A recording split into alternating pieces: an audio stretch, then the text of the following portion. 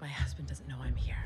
This procedure is going to determine whether I'm happy about this pregnancy or whether I'm going to have to take drastic action.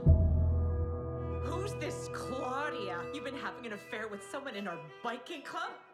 You don't need to go into detail about your personal life. You're here for expertise, not opinions. I'm a wreck, Deborah. You are. What Thomas did was wrong, but he doesn't deserve even one little tear. Look who I found. Liana!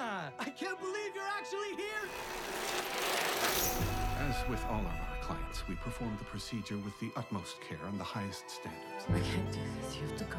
I don't feel very good. You relax. You don't know what I'm going through. You don't look that calm. It's that in 20 years of practice, I've never had a case like this.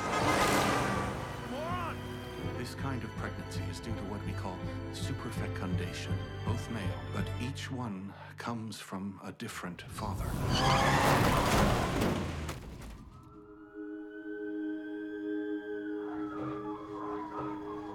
So you want us to have a family? Stop sending me flowers and texting me love notes. Admit it, Liana. He knows he's a cuckold. Actually, I just bumped into Liana. God, she looks amazing. Get out of here. I just don't know what to do anymore. Now that I'm pregnant, my whole life I've wanted a baby. And now I'm pregnant, and I don't want to have this monstrous baby. These are your results. Liana, what do you want to tell me?